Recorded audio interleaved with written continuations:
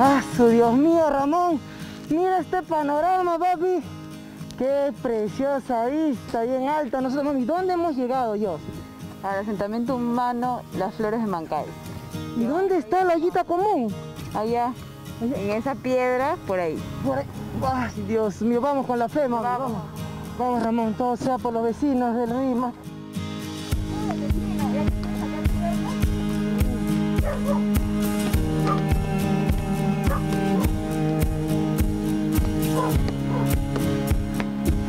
Ah, Ramón, estoy cansado, mire.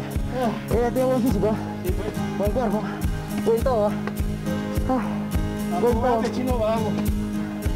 ¡Dios! ¡Espérame, espérame! Ah, su más, por fin llegamos. Ramón, mira, aquí está la olla común. Sí, te presento acá a mi amiga Rocío. Quiero saber qué has cocinado, a ver. de de... Ah, está buenazo. Aquí está, todo preparado.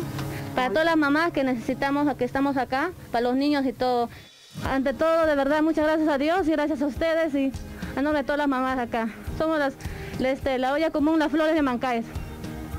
Gracias a ti, Rocío. Nosotros encantados de ayudarte y bueno, nosotros hemos traído un platito de comida para tus bebitos, al menos para que se llenen y espero que les sirva mucho.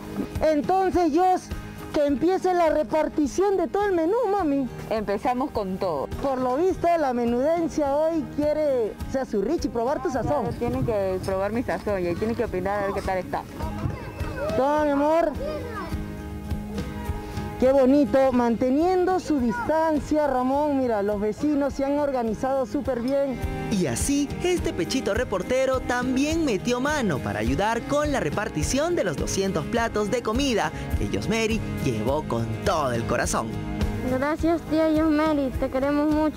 Yosmeri, cuando yo sea grande voy a ser policía. Gracias por acor- acordarte de nosotros. Por este cariño le deseo muchas bendiciones, que Dios bendiga a tu familia. Que no se diga más, la noble y voluntaria labor de Yosmeri sin duda es de aplaudir e imitar, tendiendo una mano amiga y solidaria a quienes más lo necesitan.